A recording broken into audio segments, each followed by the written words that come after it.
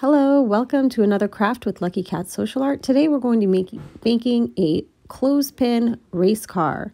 You're just going to need a few supplies here. You're going to need a clothespin, four different buttons, two twist ties, and two pieces of straw.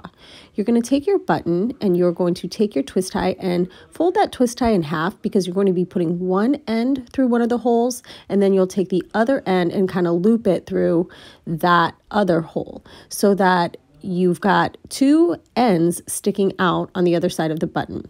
You'll take your straw. Here I'm using a paper straw, but if you've got a plastic straw, that's fine too. And I'm just going to go ahead and take the two ends of the twist tie and I'm going to attach it much like I did with the other button through one side and then the other side and I'll just twist to secure.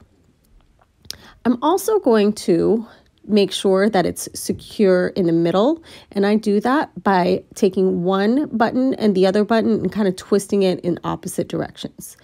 Then we've got one set of wheels for a race car. You're going to repeat the process with your other two buttons. If you'd like to use two of the same size buttons, that'd be cool.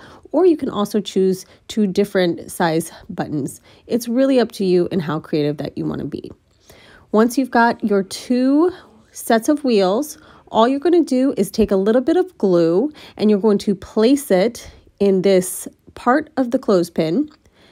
And then you'll take another little bit of glue and put it on that other end, and you've got a race car. Hope you enjoy this. Have a great day.